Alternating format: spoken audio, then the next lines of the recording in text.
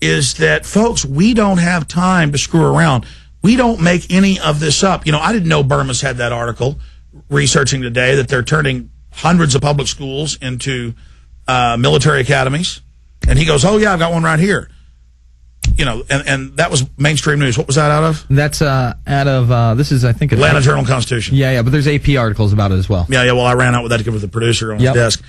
But I see this AJC. One, yeah, this is uh, this is right out of the local news. It says AJC yeah. on the top right there. Yeah, the Atlanta Journal. Yeah, no, that's Atlanta Journal Constitution. In fact, yep. show folks that article right there. We can. I mean, I'm not making this up. It's, this is real. And uh, well, show it to them again. They're going to say it doesn't exist. You got to show it to them carefully, or they'll live in denial. And I just can't take it anymore, folks. They are setting up a Bank of the World. They are robbing us. They have built FEMA camps. They are going to charge us a carbon tax. That's what this is about. I'll tell you what's scary. I talked to emergency managers in Illinois, Texas, Indiana, and New York. And we just talked to another guy, and he's got photos and videos. This is what I'm in here watching of mass graves and mass concrete vaults for dead bodies. And then I have the Rocky Mountain News from 2002 headline Governor, the exact headline was like Governor discusses mass incinerators and it said they can burn 15,000 bodies an hour or something. You know, I'm not making that up. You know, that's like when I read the, what I mentioned earlier, when I read the um, Philadelphia Daily News and it says a division of AmeriCorps Secure Corps is training high schoolers with M16s to run checkpoints and warrant service and fugitive apprehension. Or when I read some Iowa newspaper where it says they're going to go door to door doing mock gun confiscations and I have the colonels on. I mean, I'm sorry, this is reality. You know, but it isn't about Alex Jones. You know, but see, people don't want to hear this. So they're going to say, no, it's that guy. He's the bad one. He's the one that took my 401k. He's the one. He's the one. Well, the elite will do anything to blame shift it to the people. It's not even the elite, man. They have trained people to be cowardly chicken necks. They have trained people to not be able to deal with reality. Look, I'm out of here. I got to go and get some sleep. All right, we'll be back after this is the Info Warrior.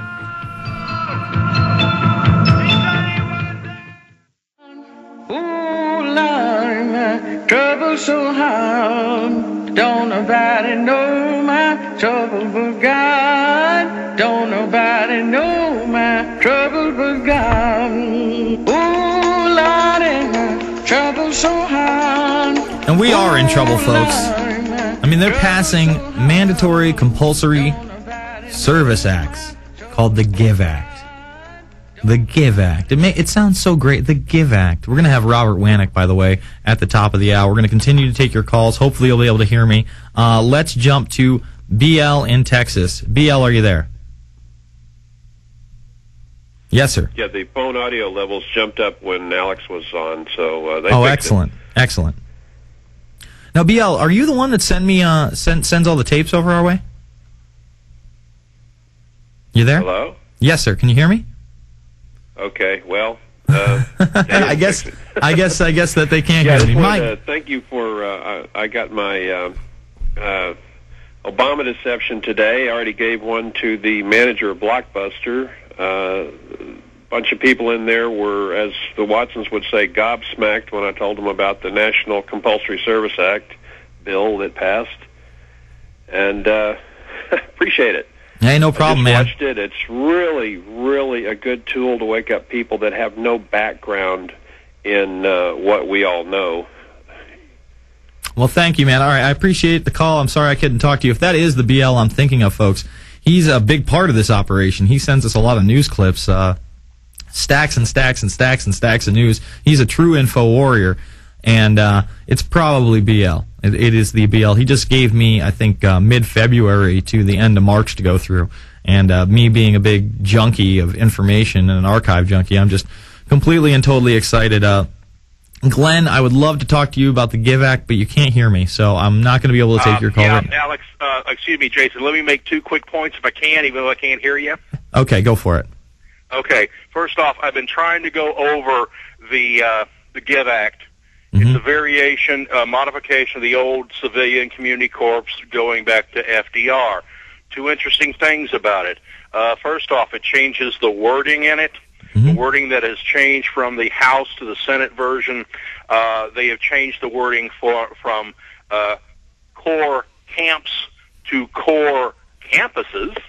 Mm-hmm. And they've changed the wording uh, from a camp commander or camp supervisor to a campus director.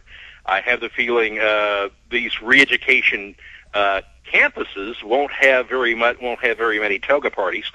And secondly, uh, going through the actual bill itself, uh, one of the things uh, pointing towards slave labor.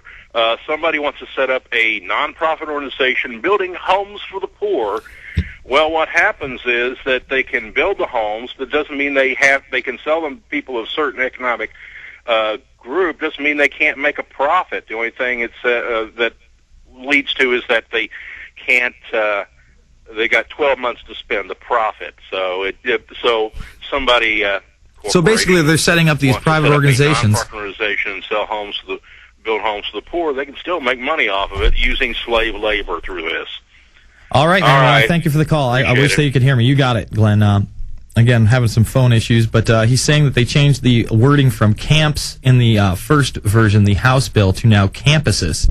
So instead of camps, they're campuses, and instead of camp directors, they're campus directors, trying to probably integrate this Give Act. Oh yeah. Oh no no no. This is classic re-education camp. This is total Soviet takeover. Mm-hmm. And what, what you can do is just bring the caller up. You can hear them. Let them make their one minute point and hang up on it and comment.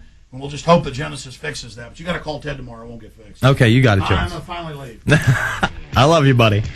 All right, we'll be coming back at you in the second hour with Robert Wannick, a youngster for 9/11 Truth, a, a true info warrior out there, and then we're going to cover some news and maybe we can take some calls. We'll see. We'll be back after this.